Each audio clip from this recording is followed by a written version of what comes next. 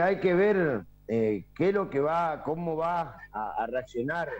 la, la, planta con la sequía que estamos teniendo. Gracias a Dios, en nuestra zona algo ha llovido en estos días, no mucho, pero hay que eh, esperar cómo, eh, qué daño le va a hacer a la fruta de esta campaña, la fruta que va a ser para esta campaña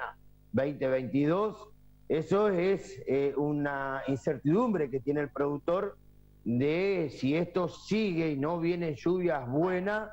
eh, a la fruta tempranera, vamos a ir a las mandarinas tempraneras, va a ser que le haga mucho daño. Entonces, eh, ahí ya eh, viene complicada la cosa porque si no esto no mejora, las primeras variedades que arrancamos en el año van, ya vamos a arrancar con muy complicado. Y de ahí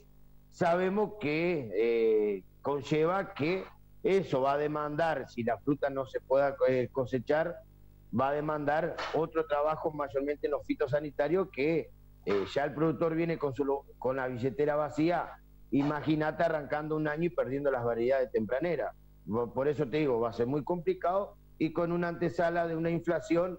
eh, que va a ser galopante en todos los aspectos.